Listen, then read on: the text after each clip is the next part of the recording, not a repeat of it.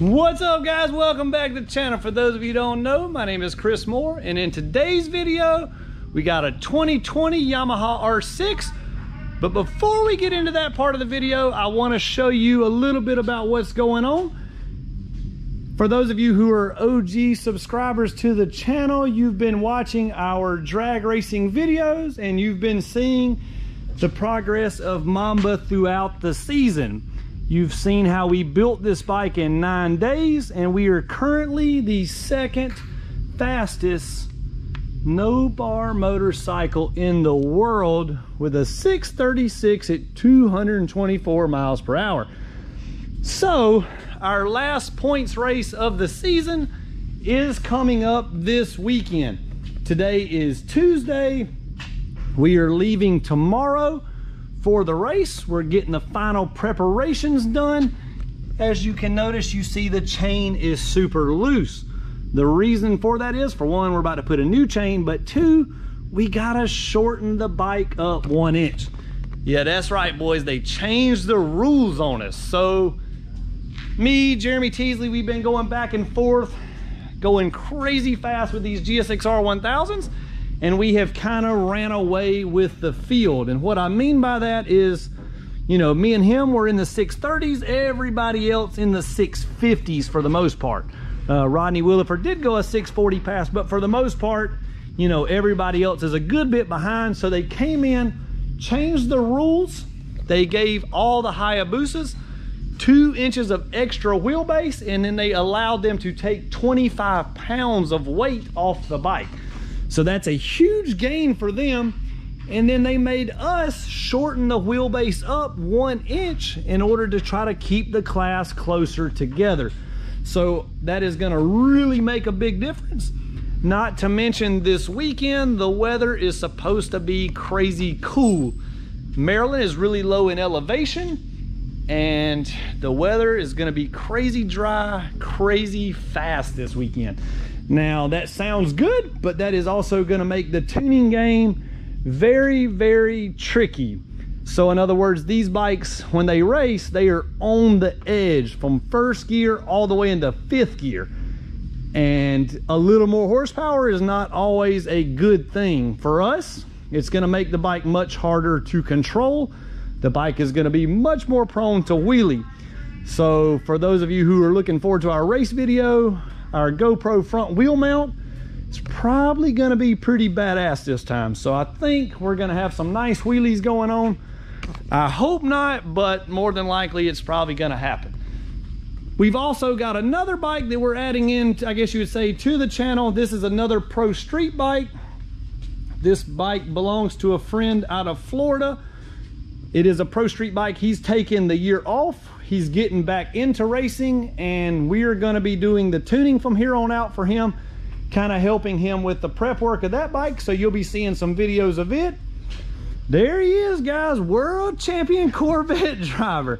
That's all I've heard about. World champion Corvette driver. Yeah, that's him, guys, BJ. So he's got his work cut out for him this weekend. With this weather change and plus two, we've added a new bike to the field under our camp. One more thing for him to do. Cross your fingers. We are in the points lead with Black Mamba.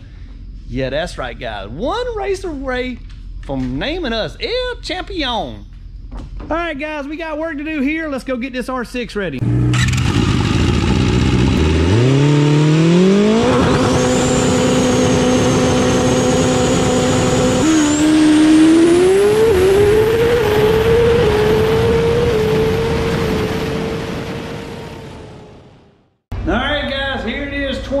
R6. The color combination on this thing is sick.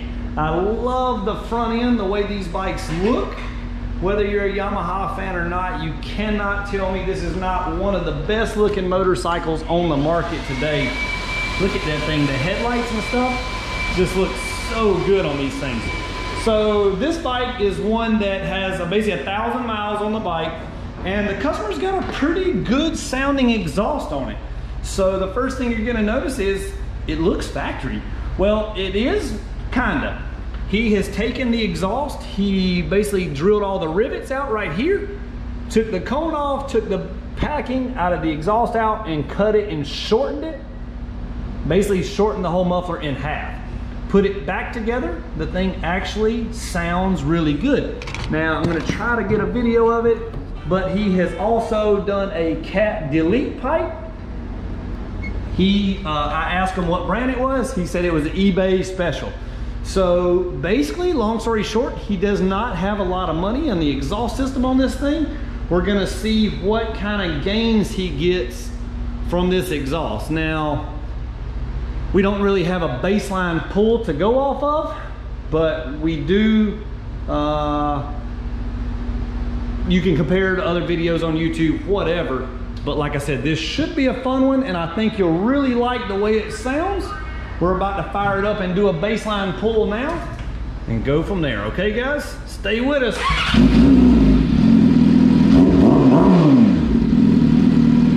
Sounds pretty good for stock, huh? All right, guys, here we go. Baseline pull.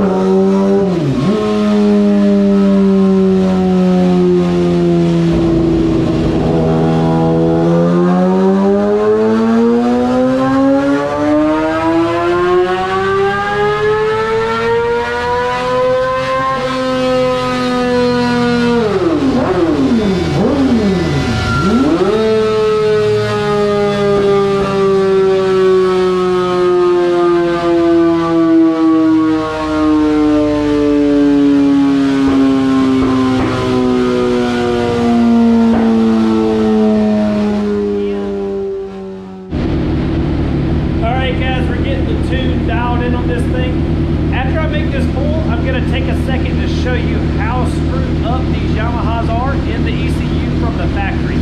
Tons and tons of restrictions and all kind of goofy stuff going on. I'm gonna show you that in just a second.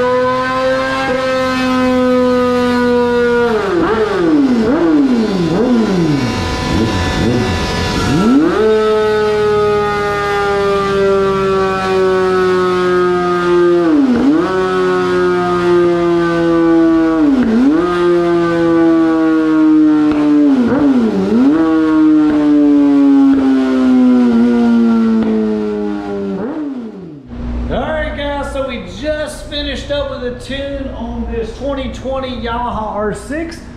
Comment and let me know what did you think about this homemade slash eBay exhaust system. So this guy did not spend very much money at all on his exhaust. And in my opinion, it sounds excellent. Uh, actually better than I thought it was gonna sound. Usually when people make their own exhaust systems, we have to try to just smile in their face and eh, be nice. But now this one actually sounds really good. So this one, he did a good job with it. I was highly impressed in the way it sounds and it does perform good. Now, would an aftermarket exhaust perform better? Yeah, probably so. Um, but for the money, you know, he spent slash what he gained, he's doing really good. So you can see we got the first pull and the last pull on the screen at this point. We, on the green line, we made 105 horsepower, but you can see all the dips and the stuff we've got going on in the horsepower and then it falls off pretty hard. And then the red line is his tuned horsepower.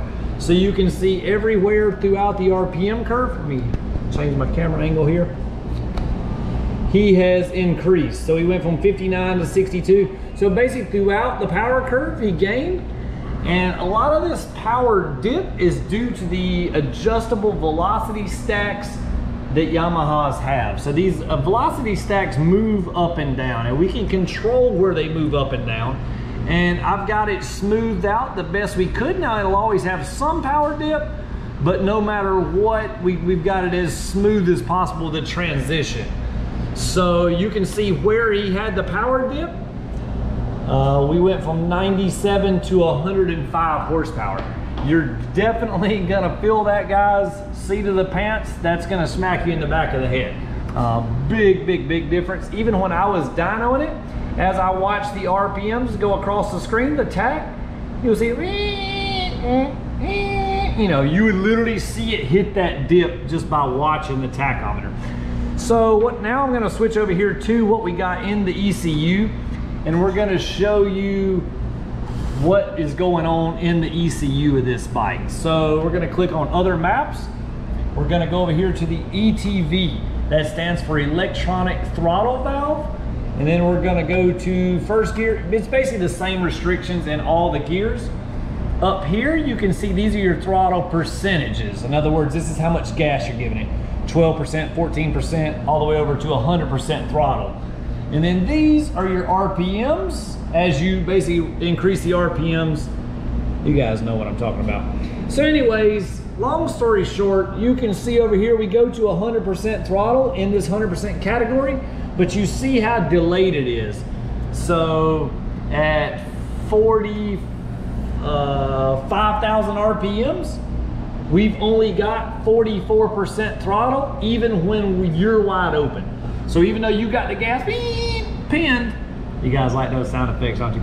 Even though you got the gas pinned, you're only getting 44%. Sorry, dude. Anyways, so as you can scroll down, you can see they slowly come up, but it hits 100% throttle only for 2,000 RPMs. Thanks a lot, Yamaha. And then after that, they cut you back to 82% throttle and they reduce it back at 13.5. So anyways, that's the same throughout the gears. Let's just put it in fifth. You can see, boom, same thing, throttle restrictions. So we remove all that in the ECU flash. The next thing I want to show you here is the ignition timing maps, okay? So let's just say put it in first gear. We're gonna, same scenario with your throttle percentages, RPM over here. You can see as we roll over, we go from 38 degrees of ignition timing uh, up to 42, down to 38, and then at 10,000 RPMs, we're down to 32 degrees of ignition timing. At 13.5, we are down to 31 degrees of ignition timing. Now, I'm not gonna tell you self-proclaimed tuners what ignition timing we ended up with, but let me just go ahead and tell you that is a restriction and that is holding us back.